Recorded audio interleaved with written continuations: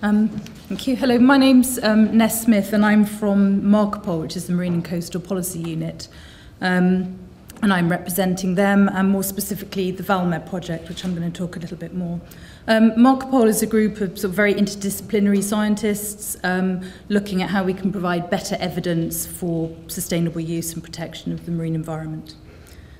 Um, we've got four key areas of work, and the thing I'm going to focus on today is marine ecosystem services and economics. And I've been very nicely queued up by Dylan and Dave, so, so thanks very much for that.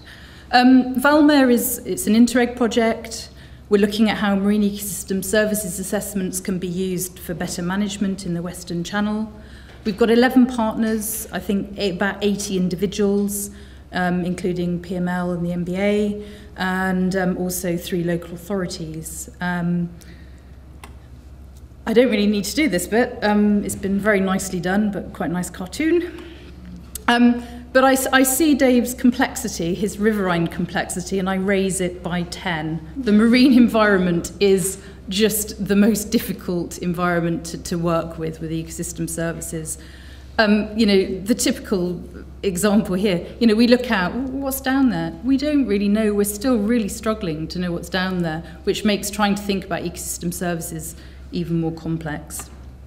Um, it's actually incredibly biodiverse. This is the, all these photos are mine taken in and around Plymouth. So that's just on our doorstep. Um, so ecosystem services approach, We do have many, many marine ecosystem services. The obvious ones everyone would think about is fish. Actually, it's one of the, the sort of, it's very high for carbon sequestration, recreationally, um, storm alleviation, it's endless. Um, so it's something that we're really starting to look at.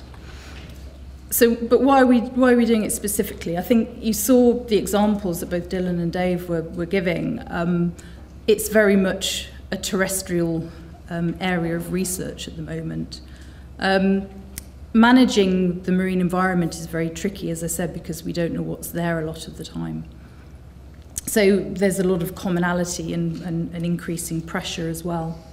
Um, so we know it, we know it's been it's been proven to work on land, um, but it's very little tested in the marine environment, if at all there's very few examples of where it's been used in a practical application. We've got values of various ecosystem services, but it's not actually been used in management. So testing methods is really crucial so we can move this on.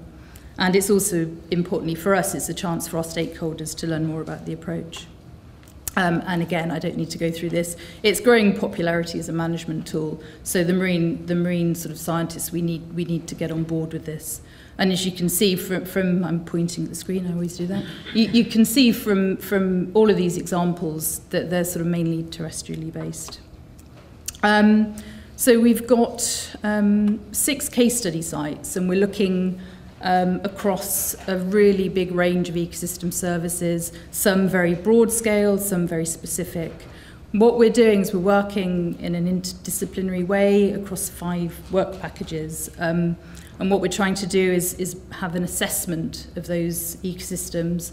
And that's not, I use assessment quite carefully. It's not just trying to place monetary values on those services. It's also sort of the, the, the more intangible ones, particularly looking at um, sort of cultural services, the, the spirituality, that, that side of it as well.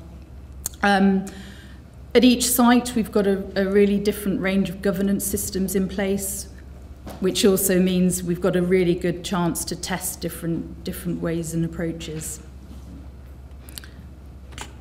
Um, some key outputs say that the whole point of this, this project is, is not just to start valuing the marine environment, but actually to make recommendations to, to government, policymakers, decision makers. How, do you, how might we use this stuff in the marine environment? So there'll be guidelines that are more specifically economic guidelines. How, how do you actually do this stuff?